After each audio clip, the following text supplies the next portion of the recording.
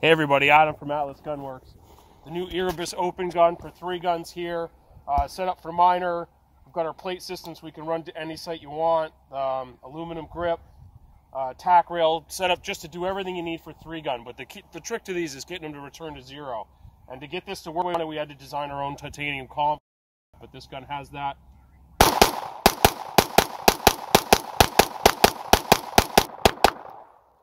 Super easy to shoot fast different grip pressures will get you different volumes, but just the easiest, flattest shooting gun out there.